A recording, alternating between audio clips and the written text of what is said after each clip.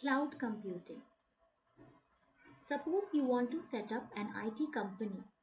So, what all things you would be needing? First, you need an office space. Then, you would be needing some hardware like computers and servers. And then, software to run the hardware.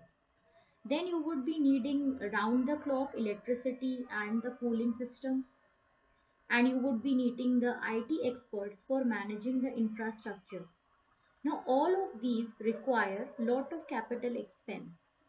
What if your work increases? Then you would be requiring more computers, more software and more servers. And on the other hand, if your work decreases, then you will have to shut down your business and all the infrastructure will be of no use. So what is the solution to this problem? The solution to this problem is cloud computing. So basically what is cloud computing? It is a technology that provides resources and services over the internet. Resources include email, messages, schedules, music, photos, videos, games, etc. Cloud computing is internet-based computing where virtual shared servers provide software, infrastructure, platform, devices, and other resources. Users can access the services available on the internet cloud without having any previous know-how on how to manage the resources that are involved. Now, why people are choosing cloud computing nowadays? It is because of accessibility, cost savings, space savings and scalability. With accessibility, the data and applications are available worldwide from any computer or any device just with an internet connection. With cost savings, the expense of the software and high-end hardware shifts away from the user. With space savings, the floor space that is required in the office is saved and with scalability, the flexibility to increase or decrease the computing requirements as per need can be done.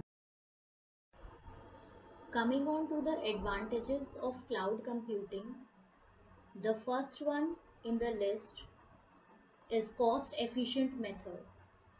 So basically cloud computing is the most cost efficient method to use, maintain and upgrade. It eliminates the capital expense of buying the hardware and software and other infrastructure. Second is storage capacity.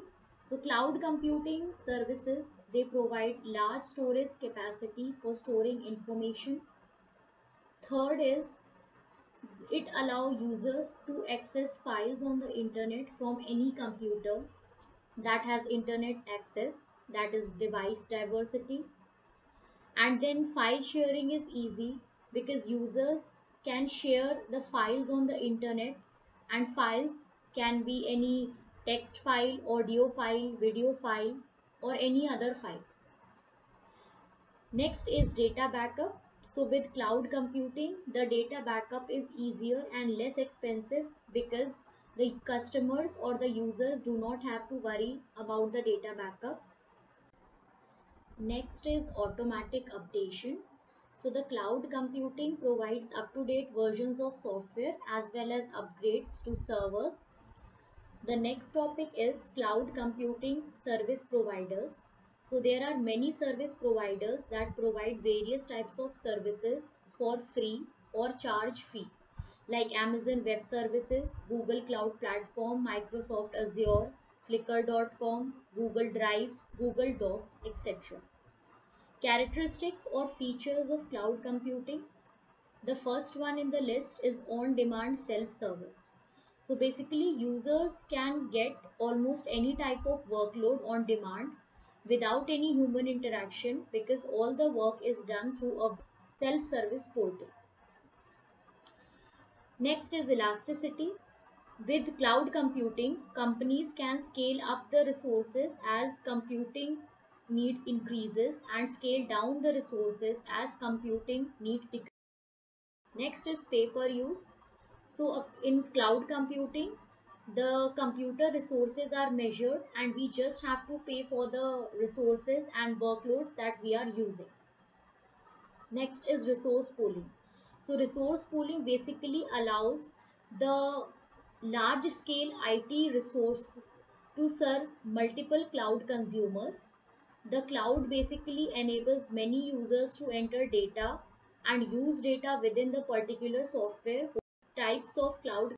First one is a private cloud. A private cloud is basically owned or subscribed by an organization and it provides hosted services to the users within the organization only and uh, it has a security to form a barrier against the outside world and it is not available to the common public. Next is public cloud. So a public cloud is not owned by any organization. The services provided can be accessed by any organization or any individual like uh, Google Drive, etc. Hybrid cloud, the services are offered to a limited and well-defined number of users. It is basically a combination of private and public cloud.